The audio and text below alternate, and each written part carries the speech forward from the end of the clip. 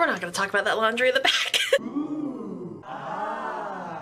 Hi, my name is Lindsay. Welcome back to my channel where I talk about theater, sometimes about like other pop culture stuff, but it's mainly about theater. If you're new to the channel and you like that kind of stuff, you should probably subscribe. Do it. Do it now. Now on to the video. So if you're a theater person yourself or you have friends who are in theater or if you follow other theater uh, content creators or other theater professionals in general, you'll have probably heard them talk about like their dream roles. I want to play Elphaba. I want to play, nah, what's his name? Evan Hansen. Whoo, close one. And you know, I have my own list of, of roles, but um, but you know how the theater industry is right now, um, I, uh, there, there are a lot of roles that I cannot play, uh, because I look like this. Various reasons why I cannot play certain roles. I am brown, I am overweight, I cannot dance, among a lot of other things. My dream roles, or who I could realistically play, is pretty limited. So I'm here to talk about all the reasons why there are certain roles that I can never, ever, uh, play, ever, at all. So without further ado, here are a list of roles in theater that I could never play. So look, here's the thing, Regina George. I'm a non-Regina George type, look at me. And that and that is because I cannot wear heels. Heels scare me. I have weak ankles. I could fall over at any moment. Who wants to see Regina just fall forward during World Burn? Next, Elle Woods. Look, I am not an Elle Woods type. Look at me. Look at Laura Bell Bundy. And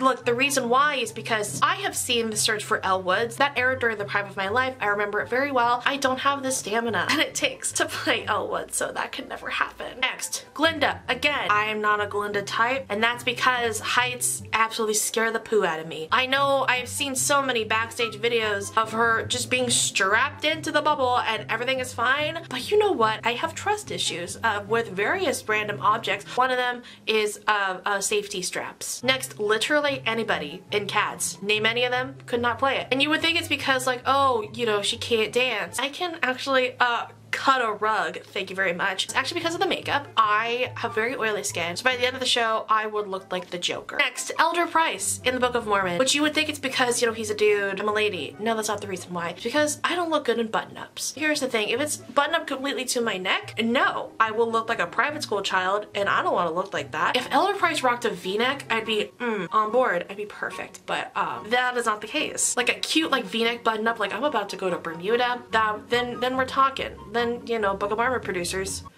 hit me up. Next, um, either of the moms in Dear Evan Hansen. And uh, you would probably think I probably can't play that role yet because I am just too young. I have not hit that part of my life yet. I actually could not play those roles ever because I am a glass case of emotion, so no. Next, Matilda. You know, that makes sense because, uh, you know, I am too old. I'm 26. Matilda is probably five, six years old. But you would think that's the reason why. That's actually not the reason why. It's because the Russian language absolutely confuses me. But you would think, Lindsay, that's only one scene of the show. But you're right. It's a very important scene of the show. I'm not going to spoil anything if you haven't seen it yet. But Russian language, who has the time for it? Next, any teen in Spring Awakening. Any of them. All of them. And uh, you would think it's because, you know, the show is, is too sexual. I come from a, uh, you know, pretty uh, conservative upbringing. I don't consider myself conservative in that way. But the real reason why is actually because my knees would never forgive me. There's so much jumping in that show. My knees absolutely, with the amount of weight that I carry on my body, could not handle that. There's lots of jumping, jumping on the ground, jumping on chairs. And you know what? I don't think my knees could handle that. And lastly, the Schuyler sisters, any of them in Hamilton. Now, you would think, Lindsay, you are, you're brown. You have uh, just a great vocal range and that, to that I say thank you. But actually, you know what? The real reason why is because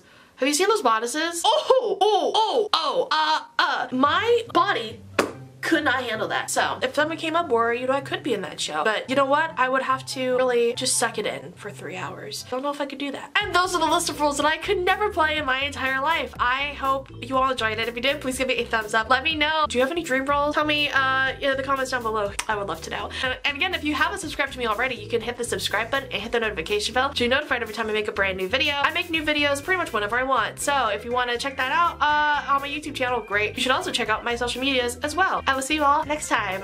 Bye!